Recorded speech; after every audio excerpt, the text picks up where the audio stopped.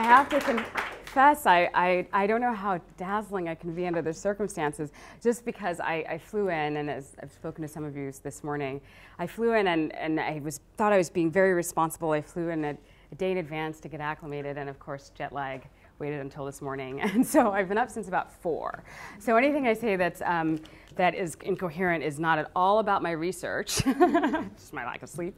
Um, but it's really a pleasure to be here. It's, it's a pleasure to be back in the Northeast. I grew up here. I am um, originally from Jamaica, which I'll say a little bit more about. But there's something as wonderful as it is to live in Honolulu, there's something really warm and comforting and familiar about being in the Northeast. So I'm, I'm glad to be here, and I'm really glad to be able to be here and have a discussion about um, some of the issues that I'm working on that may seem quite far away, but are still quite relevant to all of us, even here, uh, thousands of miles away from the Pacific. Um, I have the lights down. Oh, do I, should I do that? Okay. Is it right here? Mm-hmm. All right, here we are. In the mood. Um, so, what I'm talking about today is climate induced migration. And um, I, w- the talk is based on some research I did uh, in response to a very specific question asked. Uh, two years ago, the Republic of the Marshall Islands approached the Center for Climate Change Law at Columbia University um, and asked them for help in dealing with some of the thornier questions that are posed by climate impacts in their region and specifically to their country. And because this was a solutions oriented type of conference, I had a very clear mandate.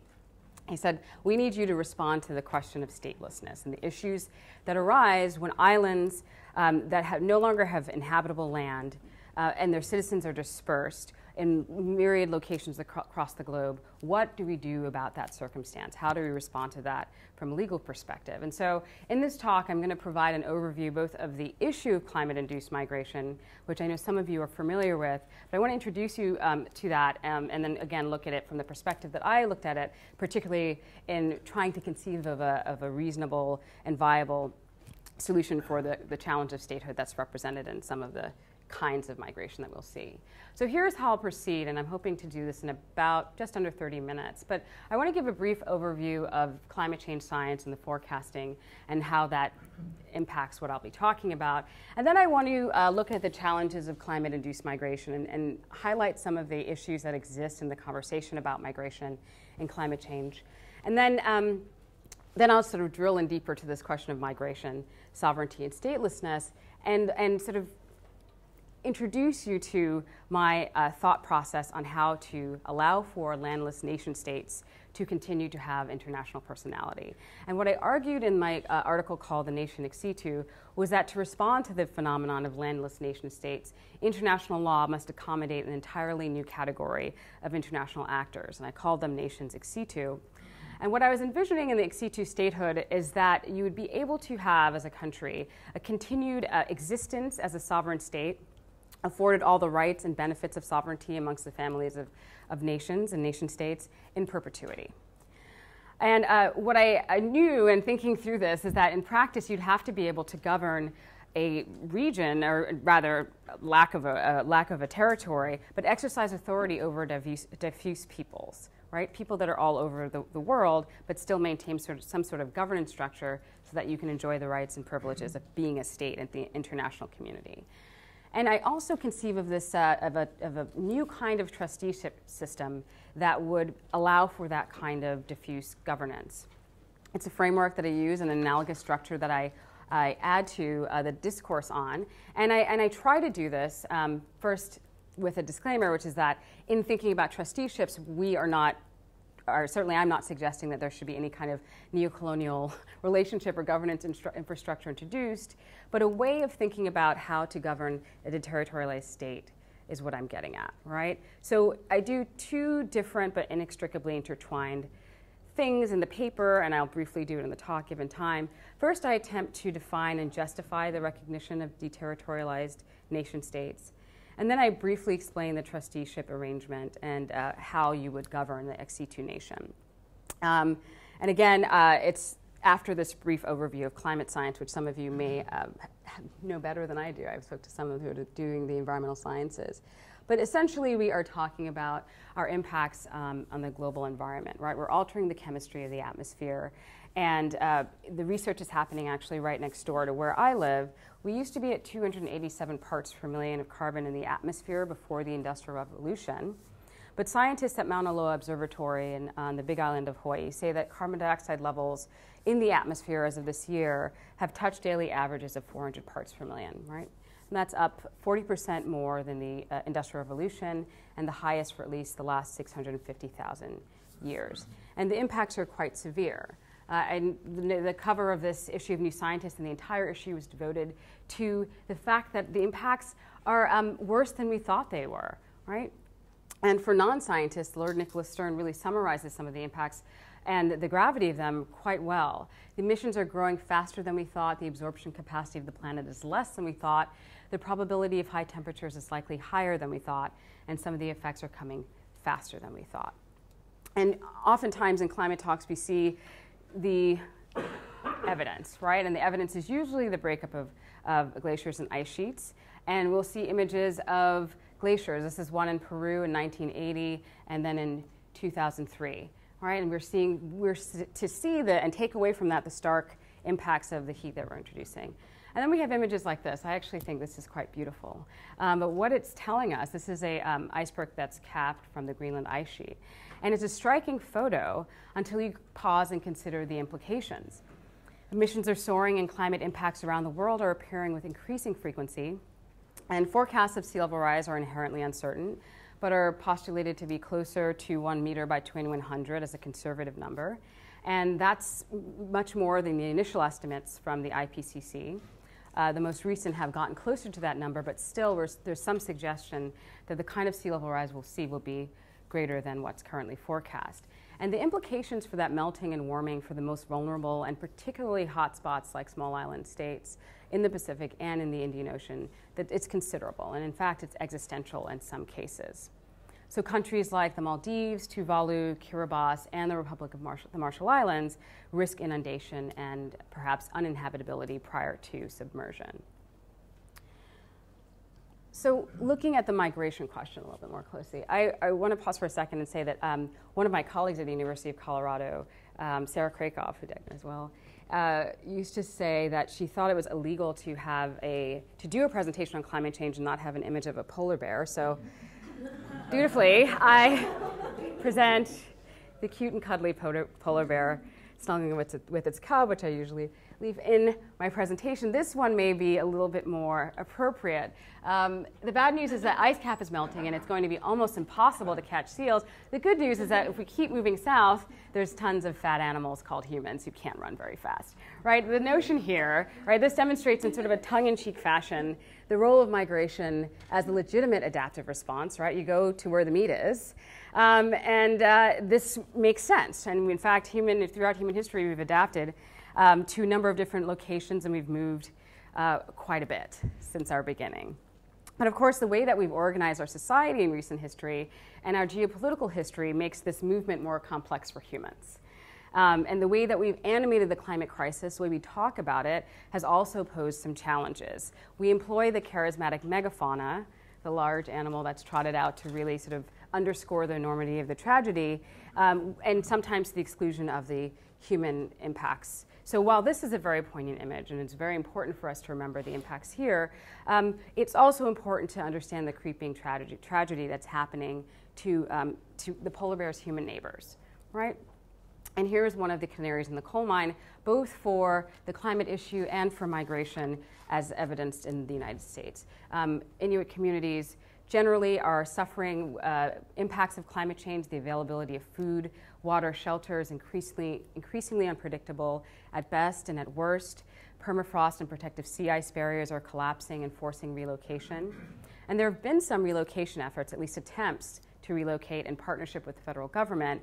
But because these are unprecedented moves, coupled with general political lethargy on the issue, several communities' relocation attempts have been stalled for up to 10 years and litigation efforts to gain relocation aid from oil and gas companies have also suffered significant setbacks.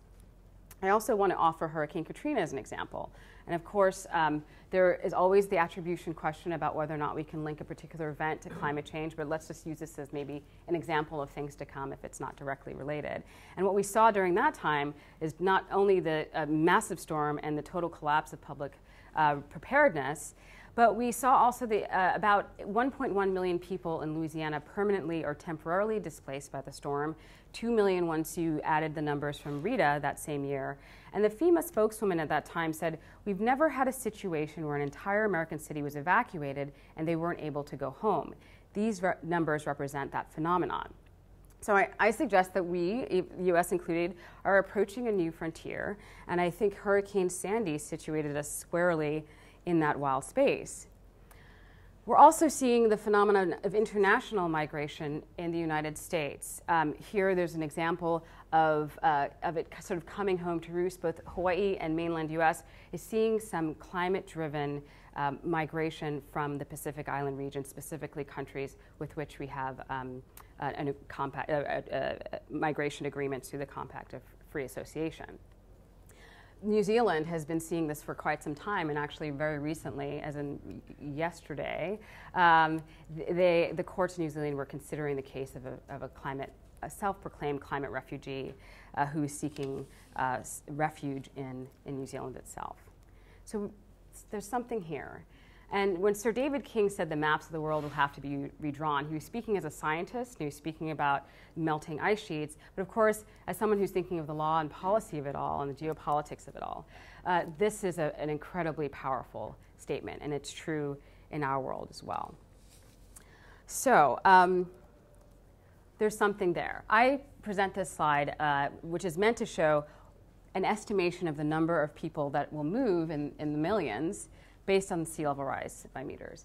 But I, sh- I show this purely to convey the upward trend because the numbers are likely totally wrong, right? And I use this because um, it's, it, it's the heart of some of the difficulty of understanding migration, which is we don't really know how many people we're talking about when it comes down to it. It's impossible to know the actual numbers for, for a few reasons, which I can address in the Q&A.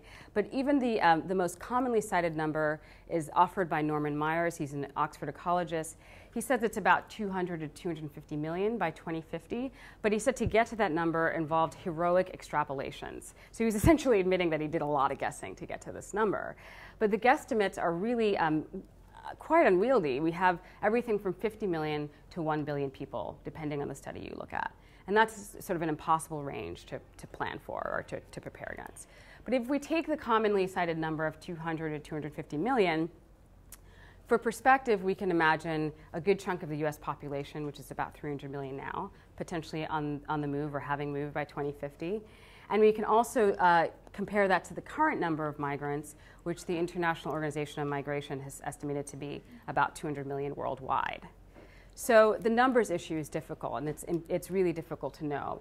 But what we do know is that it's already occurring within countries. There's some examples in the United States, certainly South Asia, more internal migration, and in the Pacific region, Pacific Island nations internally as well as across borders. The other thing that we know is that the circumstances of small island states that risk complete loss of territory is distinct and distinct enough from the larger experience of climate induced displacement that it deserves to be carved out and dealt with separately and rapidly. But migration generally has been a political hot potato, but uh, it's critically important, as I hope I'll prove, for, for the law to address the phenomenon. Now, to, to kind of give you some context to how I think about these, this kind of issue.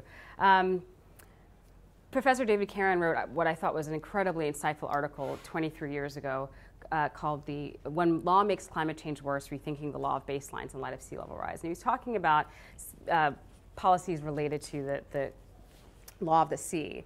But the message, the vehicle that he uses, the conceptual vehicle he uses, I think is incredibly helpful we can think about the laws having relevance to climate change and capacity to do something about climate change in some very clear ways, right? When, when the Sierra Club sues to stop the uh, building of coal-fired power plants, we see that as law acting, right, and, and furtherance of mitigation efforts.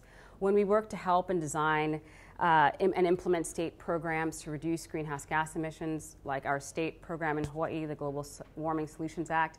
Lawyers worked on how to make that work and how to have that sync with other um, areas of, of governance in the state. But there are many instances where the absence of law or the necessary amendments to law that aren't happening exacerbate poor climate forecasts for individuals and communities. And what Caron is essentially saying is that you can understand these as non natural legal feedbacks. And he's obviously borrowing from the climate scientists who talk about positive feedback loops in which one natural process that's disrupted by climate change accelerates the impacts of climate change. So he's talking about this as sort of a positive feedback loop, and how he explains it is as follows. Legal feedbacks will not alter the amount of climate change, but will aggravate the suffering that will accompany such change. The greater the change, the greater the aggravation. I think this is totally right on. I have one footnote, though, which is to say that now that we're 23 years past 1990, in fact, legal feedbacks have altered the amount of climate change. Right? The absence of an aggressive binding agreement, uh, the, the success, the failure of Kyoto, essentially, and the absence of a, of a, of a successor um, agreement has actually increased the amount of climate change, or certainly increased the emissions that we're, we're going to experience. But of course, there are other feedbacks that are relevant here. Unresolved questions re- regarding migration, definitions and classifications of migrants, uh, lack of clarity regarding resettlement rights just in this issue of migration is going to be um, important, and the absence of any legal mechanism is making the situation worse. And that's true too when we think about the context of statelessness. Statelessness presents an aggravating legal feedback. So, one of the things I mentioned was the absence of a definition. And you, I'm sure, have mostly heard climate, the term climate refugees to describe this phenomenon of climate induced migration or climate migrant. And um, it's important to remember that a refugee can be fi- defined in different ways depending on your discipline and your perspective. Um, it has a political and sociological relevance if it's describing a political phenomenon or, um, or migration as an empirical reality or, or wanting refuge as, a, as, an empirical reality. But legally, what's stipulated in national or international law, um, it, it's not there. There is no such thing as a climate refugee, right? Uh, the Refugee Convention is really dealing with different kinds of circumstances, and to argue otherwise is a little a, a bit difficult, although there is some argument in that in that realm. But essentially, you have a couple of important hurdles, which is that refugee status usually involves some sort of state sponsored persecution based on identity um, and uh, urgency, right? You have to leave and there's no choice. And, um, and that's why it's important that the absence of climate refugees as a legal term is, is going to be a significant hurdle. Professor Jane McAdam basically said legal definitions bind states in ways that descriptive labels cannot. So by simply calling them climate refugees, we are not actually able to uh, respect uh, their rights and, and, and, and uh, sort of exercise obligations as, as a result of those rights. So that's going to be uh, a different and difficult type of hurdle that they will have to uh, overcome. So you must ask, and many of the islanders have asked, how do you make policy underwater? How do you have your rights recognized underwater? This was obviously um, a, an important publicity stunt for the Maldivian government in 2009, right before the Copenhagen agreement, uh, meetings rather. They uh, decided to have a cabinet meeting underwater to sign a declaration er, you know, sort of eagerly requesting that there be a fair, ambitious, and binding agreement at the Copenhagen meetings right? And considering their circumstances, you can understand why they would do that. This is Male. This is the capital of the Maldives. At its highest point is about eight feet. This is an incredibly um, uh, stressed community right now. Uh, it's an atoll nation that's looking at the possibility of losing all of its territory, all of its habitable territory. And so they're certainly going to ask for a legally recognized definition um, of, their, of their status, a clear statement of their rights, uh, a determination of what currently exists to address inter- international and internal migration, and key to this talk, what to do about statelessness, right? And usually, statelessness is dealing with um, deprivation of nationality, right? It's not designed to deal with situations where no successor state exists and predecessor states have disappeared. It has disappeared in, this, in the cases of what's forecast for some of these island nations. So other questions come up that are really difficult. Uh, when does a nation cease, cease, to be a nation? can you maintain a government, much less an identity, if your land can no longer be inhabited? Right? So those are the questions. So, um, the relative near term dissolution of a country's habitable territory due to climate change is what I refer to as endangered. The, to, to, as the endangered states problem, right? And some you may hear drowning states, drowning islands, threatened islands. Um, but the endangered states phenomenon represents novel questions that challenge the very foundation of Westphalian or nation state sovereignty. And the countries at issue in particular are mostly in the Pacific. Um, they are, again, Tuvalu, Kiribati, the Republic of the Marshall Islands, and of course in the Indian Ocean, the Maldives, which you can't see here in this image. Someone asked me once I gave this if I had Australia sort of out in the middle for a reason. I don't, but obviously it's really important to think about the regional dynamics here. The question then is um, what we do about statehood in this context. Um, we are bound by prior understandings of what a state is, and generally speaking, uh, to be a state, you have to have four key elements permanent population, defined territory, a functioning government, and the capacity to enter into relations with other states recently I shared this with uh, someone who reminded me that um, given a functioning government as a requirement, perhaps the United States might be excluded. But let's for a, for a second assume that that's not the case. Um, we definitely understand that some things are, are we, uh, we have a sense that some things are indispensable, and there's certainly a strong argument that territory is one of those elements of statehood that's indispensable. But deterritorialized statehood as an alternative for endangered states has been offered as a possibility before. Not by many, but it's certainly been offered. And others have contemplated having such a successor entity. In particular, Rosemary Rayfuse, who is actually a professor of, of law in, in Australia, um, and there is actually a, a very strong scholarship that's uh, amount of scholarship that's coming out of that region for obvious reasons on this question. But she in, briefly introduced the possibility and argued that ultimately a more equitable solution may lie in recognition of a new category of deterritorialized state. Right, that this is maybe the equitable approach. Um, and that was an important introduction, but scholars generally have not elaborated on what that would mean, nor have they provided justification for the kind of new category of international personality that she's recommending um, and that I agree is a possibility. So that's what I'm doing in the Nation Ex Situ. And the first piece, again, I said, was to sort of figure out what it is, what a state is, and then justify why we could, we could maybe, in these cases, uh, relax the territory requirement. They make three basic arguments to support the creation of this new category. The first is that the alternative forms of, of the state are not necessarily novel. There are historical analogs, or I should say, when I say state, I also mean sort of an international entity that sometimes acts and looks like a, a, a state. Um, there are historical analogs. They're rough, but I think they're relevant, and I'll say a little bit more about that. Um, then I also argue that elements of cosmopolitan theory, as well as the evolving conditions of various diaspora, prove that a landless or virtual nation is appropriate here and is at the same time an inevitable evolution of contemporary citizenship and statehood. And I say this, and I want to be careful not to be too carefree. I, am from Jamaica originally. I was born in Kingston. And there's a difference between my experience of diaspora uh, than someone whose state has disappeared. I could go back to Kingston if I chose to. Right? Um, so I don't want to, to draw the, the uh, I don't want to make it too close of an analogy, but I do think there's a blueprint here that's really important to consider, and I'll say more about that as well. But if those two aren't persuasive, I argue that the extraordinary circumstances of threatened nations alone justify such unique departures from the norm. So, first, looking at this alternative forms of state, um, there are a few instances where um, international actors kind of provide helpful precedent for the deterritorialized nation idea.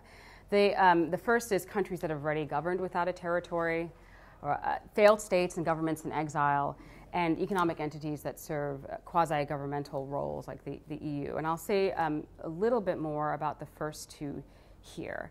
The first um, is this notion of countries that have governed or international actors that govern like and act like countries um, that have no territory.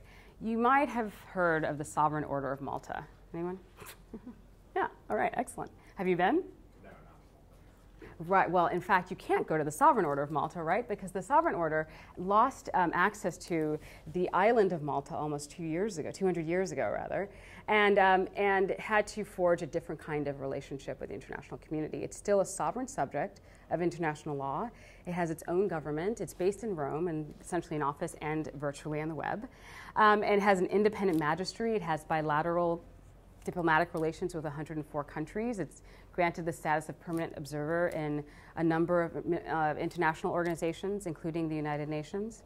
And um, it has a pretty interesting and robust uh, uh, way of becoming more familiar with the country, as in its FAQ page, right? Frequently asked questions. This is the um, extent of the sovereign order of Malta. And it's been used, I, think, I think as a, a, very interesting and important way of considering how one can still be an important international actor, yet have lost territory um, years and years ago.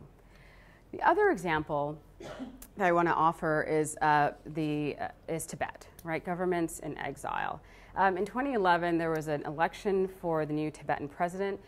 55,000 uh, Tibetans were scattered around the world and participated in this election. And I offer this example um, to show that we can glean important governance lessons from highly, how other highly disparate communities are organized and governed right? So the mechanics of coordinating physically disconnected civic participation is demonstrated through uh, the relationship that Tibetans have with their government. Uh, again, even though they are uh, a dispersed people. If you consider the um, cosmopolitan theory and the experience of diaspora, they serve as a counterweight to neat understandings of statehood, land, and citizenship, and the notion that they are inextricably interlinked. What's important to remember, it seems to me, is that climate change acts on this world, right? Even though we've organized ourselves into this world. And so um, borders are superimposed, and they are, in some respects, if you will, non natural legal feedback mechanisms, right? Um, thankfully, though, unlike the laws of physics, they are not immutable or static. They are laws of society and humanity um, and should be more variable, though consistent, and more malleable given the circumstances. They should be, in light of climate change, a little bit more forgiving. And I argue that contemporary global movement has already forced a rethinking beyond the nation, traditionally marked by borders and dividing walls, and that the experience of diverse and multiple diaspora make the cosmopolitan framework uniquely relevant to 21st century experiences of land and state for groups and individuals. And in this context, it becomes clear that deterritorialized statehood is not necessarily far fetched. And in fact, there may already be a rough uh, blueprint of its normative infrastructure in the di- diverse scholarship of cosmopolitan theory. Um, Post colonial migration, in particular, has produced a particular kind of, of citizenship. While citizenship is generally understood to be territorially bound, post colonial citizenships tend to be deterritorialized and maintained through uh, travel, pilgrimage, labor migration, um, other complex residential patterns that traverse boundaries. And um, territorial boundaries and identity aren't necessarily reflected uh, clearly in the global migration that we're seeing that produces citizens that are actually exercising substantive citizenship in more than one place. In some cases, at least two states, perhaps more. Citizens can enjoy long distance bonds with nations from which they've long immigrated um, and have a strong cultural connection as a result of their shared uh, history. And I offer as an example my own, my own experience largely because if you've ever met a Jamaican, you know, um, we have a very strong di- diaspora and a strong identity. And in fact, the population of Jamaica is 2.9 million, but two, 2 million to 2.5 million identify as Jamaican and have maintained strong relationships in spite of the fact that they are not located in the same place. Um, the, the, critical lessons that diasporic communities uh, convey, right? You don't necessarily relinquish substantive citizenship or, or connection or transboundary, transboundary allegiances because you're not in the same place, right? It's viable, therefore, to conceive of a nation that is both dispersed and deterritorialized based on the strong example of diaspora. And even in the Pacific, we are already seeing very strong um, examples of how the migration corridors are producing a strong diaspora in the, um, in the US as well as in New Zealand and Australia, that the numbers I don't have. Um, this is actually, I, I apologize for the, the date of the census. I was actually looking to see if there was an update uh, a couple days ago, and the government shut down, did not allow me to, to check for the, the census numbers. But let's just take these numbers, and I, I, know, for example, that the numbers of Marshallese in our country has increased, and we're seeing that there's a pretty uh, significant uh, diasporic um, uh, set of communities that are expanding throughout the U.S. and certainly in the Pacific region. Again, the um, comparison is not complete. Uh, again, for members of the diaspora, the existence of multiple, a tangible home remains, and that's significant. You can visit home. Pacific Islanders, in particular, uh, generally speaking, have a, a, strong relationship to land and territory. Right? It's a, a critical to their identity. In Marshallese language, for example, the word for land and placenta is the same. Right? So it is a, a very stark and, and, and a very um, dramatic uh, event to have to consider losing your territory and being dispersed in this way. But it seems to me that there are some possibilities for understanding the, these transboundary loyalties to allow for all of the rights of citizenship and statehood to um, be afforded to you, even, even deterritorialized. Then I argue in the, in the article that if the above is not persuasive, I offer the following. The first is that the presumption in international law uh, is that uh, states continue, right? The continuity of, of, a, of, an existing state is, is presumed, and that presumption would be logically extended to current endangered nations. Um, and then also the appropriate interpretation of existing laws and the spirit in which they were drafted and ratified militate in favor of expansive interpretation for the benefit of the people of these, these endangered states. Um, for example, if we think back to the Peace of Westphalia, right, it was ostensibly uh, introduced to provide security and stability during warring time, right? And that stability and security was represented by borders and nation states. And so allowing a deterritorialized statehood bound by culture and experience uh, would perhaps serve the objective pur- purpose of Westphalian system at a time when climate change really introduces an extraordinary threat to territorial integrity and to global peace and security. So I'm going to quickly sort of map the Ex Situ nation and say a little bit more about what's I think are some really indispensable elements of it, right? The key features of it. Um, First, I argue that to respect the continued sovereign equality of the endangered state, the United Nations and member states must act only to support the transition to an establishment of Ex Situ nationhood. Again, the trusteeship system is one that has been offered as a possible model, but the UN and it's something the United Nations has done before and perhaps can be applied in this context. Um, there are important amendments, though, that would have to be made, especially because if we're to recognize the sovereignty of these countries uh, on forward, we'd have to be careful that the role of the international community is purely to support their existence and perhaps collaboration rather than to govern those, uh, those countries or the, the Ex Situ nations. The other piece is that appointed members of the endangered states supported by the UN would serve as a political trustee. So this really would be about uh, it, governance over time by the uh, Marshallese, for example, right? There would be an establishment of an interim mission, mission and then uh, the permanent nation Ex Situ status. So the interim mission would then merge with a permanent Republic of Marshall Islands Ex Situ and continue the, the work of the, uh, the government as it deals with transition. And this is everything from distributing resource rents to adaptation funding to uh, allowing for uh, diplomatic relations and um, resettlement to be negotiated with some sort of government entity that would continue to exist. And then this piece I think is really important. It's member driven, and that it, all of the uh, the meetings, the decision making would be about the uh, furtherance of the, the, specific peoples and cultures that are now deter- deterritorialized. And that might even mean that the, the members would decide to dissolve, but that's their decision alone. And that seems to me a key element of any proposal for deterritorialized statehood. I think there are a number of intangible benefits. Uh, formal membership can be passed down through generations. Even without a physical location, the sense of bonded community will continue to have multi generational relevance and strength. There's also a possibility that the nationals of the Ex Situ state can continue to enjoy a shared purpose. Indeed, this seems to be the most powerful binding force of the Sovereign Order of Malta, whose members remain bonded by history, spirituality, and service. And then there's a possibility for reunion in other locations, right?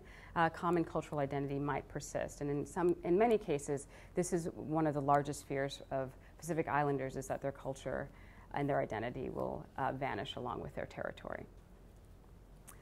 So, in conclusion, uh, I just want to offer a, a quick uh, story about how uh, some of the ways I've come to think about this. And one is that I was at an oceans conference with a, a number of climate scientists, and we were trying to talk about the divide between scientists and policy member- members, how we can talk about climate change more effectively, and what to do. And one of the scientists actually said the most effective way to communicate about climate change is not the science that I just offered, but to talk about uh, how it links to our kids and our pets and our houses and our jobs, right? And uh, immediately, this image of my daughter came up. It was uh, this is her in, uh, in Waikiki, which is a wetland, by the way, um, and might be again very soon. And her, she's so joyful, um, and her feet is you know covered in water, and it really struck me. As a student of post-colonial theory, a daughter of a colonial subject, an immigrant from a, a former British colony, I've always hoped for a rethinking of the Westphalian order. Um, I've always thought about a progressive redrawing of the world's maps and thinking through borders and boundaries in a way that they would be questioned fundamentally. And now that may well come to pass, but in profoundly different circumstances than I had ever imagined. And now I find myself in the opposite position of searching for ways to save these borders, to uh, save imagined communities for uh, our, our children's generation. Optimally, there would be aggressive action for mitigation, and we wouldn't have to even have this conversation. Many of the islanders would not need to leave where they live right now. But uh, absent any indication of switch, swift action in that front, um, international law, I think, must find suitable solutions for the nation state problem, the statelessness problem, and related issues. And I offer the Nation Ex Situ as a point of departure. Thank you.